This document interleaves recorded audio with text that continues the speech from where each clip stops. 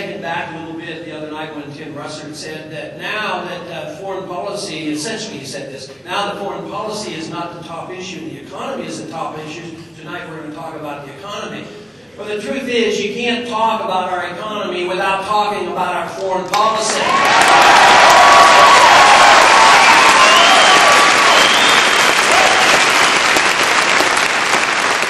I was influenced greatly in the 1960s studying free market economics, also studying medicine at the time. Being in the military, I was in the military for five years, saw what was happening here domestically in our country with the riots and, and the disturbance here, as well as the resentment toward the war going on in, in Vietnam.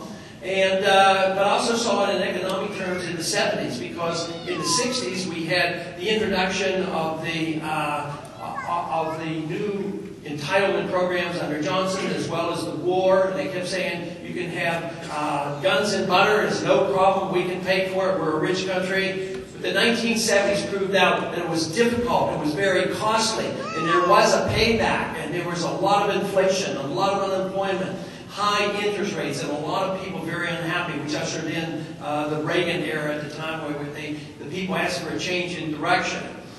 I see us facing that same type of problem right now because in the last decade, even after conservative Republicans were elected, our job was supposed to be to cut back on the size of government, but we failed that. And if we are going to survive as a party, we better get back on track and, defend, and defend these principles that used to be the Republican Party, and that is defending liberty and our Constitution.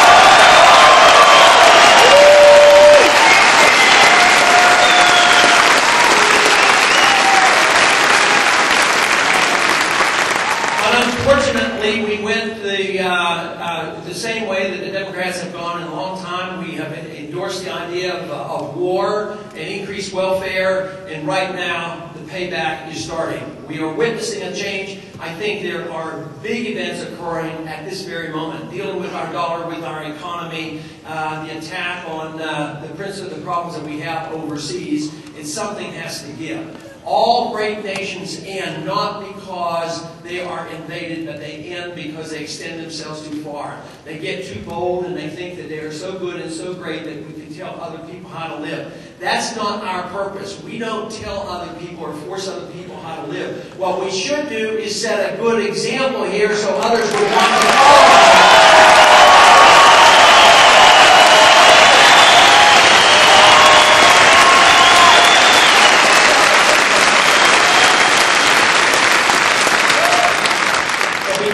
have pursued this foreign policy of interventionism and we've but now bogged down once again in wars that should be fought. We're involved in Afghanistan, it's not going well. They pretended that last year was a grand year, a turning point, another mission accomplished in, in Iraq. And guess what? It was our worst year ever. More deaths last year.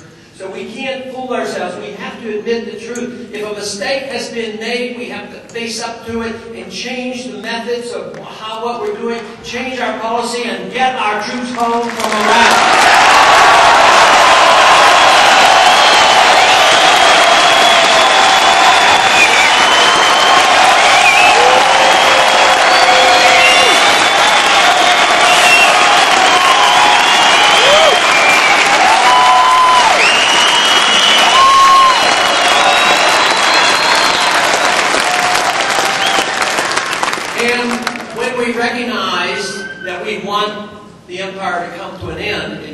Just bringing our troops home from the Middle East. It's about time we brought our troops home from Korea, Japan, and Europe.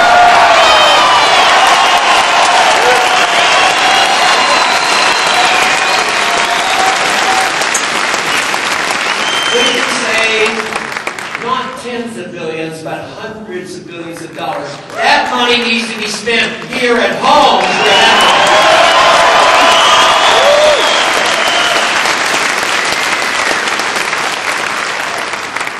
The middle class is hurting, and it's hurting because of our monetary system and our economic system and because of our foreign policy. If we want to save the middle class, which is characteristic of a free society, the freer you are, the better the markets are, the larger the middle class is. But guess what's happening? The middle class is shrinking, and they're not becoming the rich class, they're becoming the poor class. That's why we have to reverse these trends that we are bogged down in today.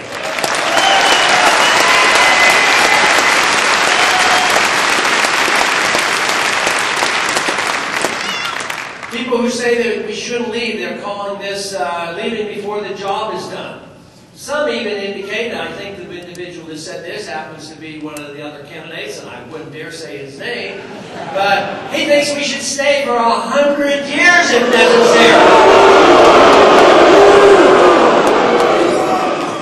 Where is he going to get the money? How much more can he taxes? How much more can he inflate? How much more can he borrow? He has to look in history. We have to realize this comes to an end. Why wait to an end in a disaster and a collapse of our system? Let's bring it to an end gracefully with common sense and following the Constitution.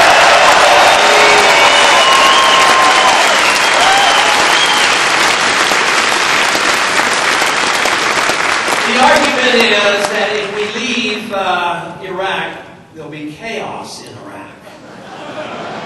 I would say if we stay in Iraq, the chaos will continue. You know, we were that we had to go to war because of 9-11. Of course, everybody knows. They couldn't even hardly explain that anymore. Everybody knows that Iraq had nothing to do with 9-11.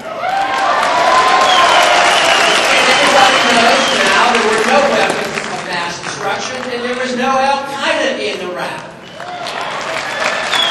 If that is true, and there was no aggression against the United States, and we didn't pay any attention Constitution, the war is undeclared, that makes the war illegal, immoral, impractical, we can't afford it.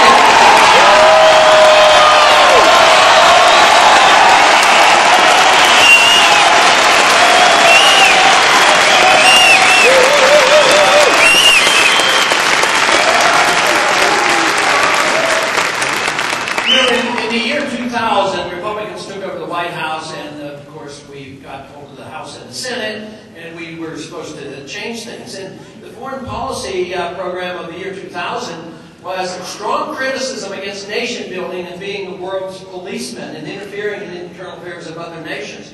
We were strongly critical of, uh, of uh, Bill Clinton. And lo and behold, what have we done?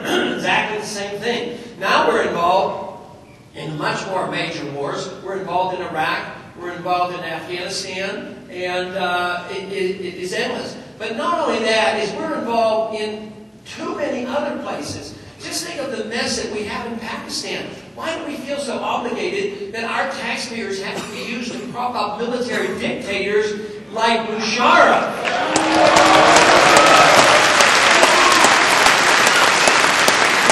We are told we are told that we have a responsibility to spread our goodness around the world through force by the use of, uh, of arms. That uh, we that we should force democracy on other countries. At the same time, we're fighting wars to support military dictators that overthrew uh, democratically elected leaders. But we've been doing it for way too long. It started in 1953 in our recent history with overthrowing the, uh, the dictator or the, the elected leader of uh, Iran and putting in the Shah. and we've suffered the consequences since. But we're very much involved in trying to pick the next dictator in Pakistan. People say, well, if we don't, how are we going to be safe? Well, I say, I tell you one thing, the more of that we do, the less safe we are.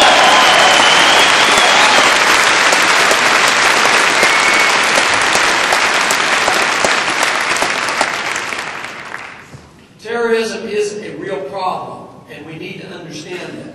But I've come to the conclusion, and so many others have come to this by just using some common sense, that terrorism, the, the, threat of terrorism, is increased with the current foreign policy. It is not diminished with our foreign policy.